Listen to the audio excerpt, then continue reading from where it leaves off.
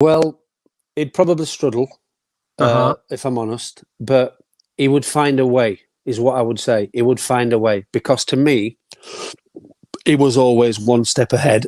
so it's like he went into an interview with, say, Brian Moore, an old commentator, and it's like he knew what he was going to say because he had the answers ready.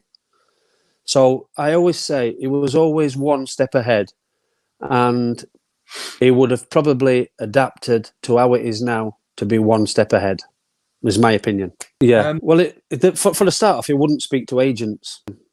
You know, um, so that's going to be struggle number one, isn't it? You know, it, it, his attitude was, if you don't want to play for me, go and play for someone else. If you want to bring an agent, and it happened with Franz Carr. Franz Carr, I think his dad was acting as one of the first agents to to support Franz, and he wouldn't speak to him because his attitude his attitude was, why would you have someone representing you who knows nothing about football?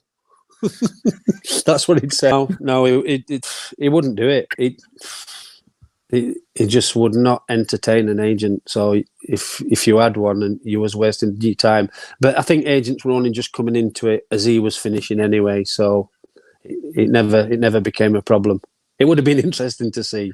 Oh God, I think he'd be president now. He'd, defi- he'd definitely be. Uh, he'd be definitely trying to be anyway. Put it that way. much, yeah, I think you do a good job.